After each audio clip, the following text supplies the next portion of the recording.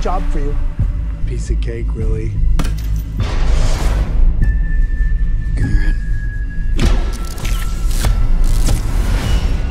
It's a security gig. Hello?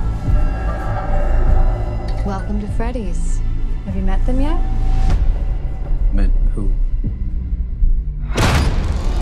Foxy, Bonnie, Chica, and Freddy. Back in the 80s, some kids went missing.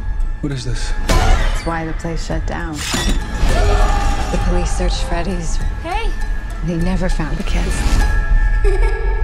What the heck?